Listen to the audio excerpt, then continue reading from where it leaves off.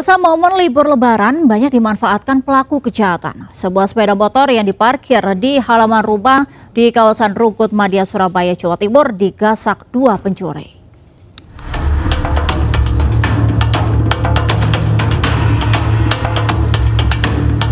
Kamera CCTV merekam dua pencuri mengincar sepeda motor yang terparkir di halaman rumah di kawasan Rungkut Madia Surabaya, Jawa Timur. Hanya dalam hitungan menit pelaku berhasil merusak kunci kontak dan membawa kabur sepeda motor milik korban.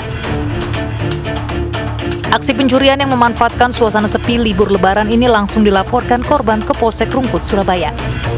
Berbekal rekaman CCTV yang merekam dengan jelas tersebut, aparat Polsek Rungkut Surabaya menangkap dua pelaku, MM 31 tahun dan AS 27 tahun.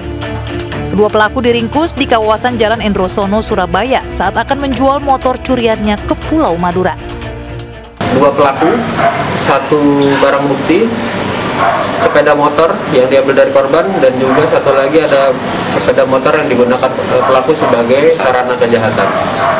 Dari hasil pendalaman terhadap kedua tersangka, eh, tersangka sudah melakukan empat kali Selain kedua tersangka, polisi juga mengamankan kunci letter T dan dua unit sepeda motor sebagai barang bukti. Kedua tersangka pun terancam hukuman lebih dari lima tahun penjara. Dari Surabaya, Jawa Timur, Yuda Prawira, iNews melaporkan. Seorang pria yang kerap memeras pemotor dengan berpura-pura sebagai polisi lalu lintas diringkus di Medan, Sumatera Utara.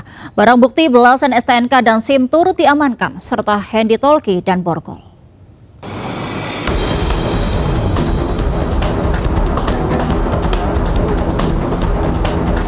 DAS pria yang mengenakan seragam Polri lengkap diamankan dari sebuah toko ponsel di Jalan Jamin Ginting, Kota Medan. Polisi yang bertugas di Pos Pam Lebaran 2022 Polrestabes Medan curiga dengan gerak-gerik pelaku dan langsung mendatanginya. Benar saja, saat diperiksa pelaku tidak dapat menunjukkan kartu tanda anggota anggota Polri. Petugas lalu membawa pelaku ke pos lantas Polsek Delitua. Pelaku ternyata sudah setahun menjadi polisi gadungan. Diduga kegiatan pelaku berpura-pura menjadi polantas gadungan sering memeras pengendara yang melakukan pelanggaran. Barang bukti yang diamankan berupa belasan STNK, SIM, HT, dan borgol. Setahun ini ya? Udah lama lah itu.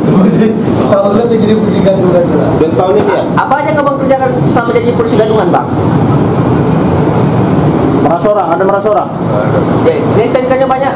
Ini siapa tuh? Yang lama-lama kerja di sana dulu. Di mana? Yang di Medan Area.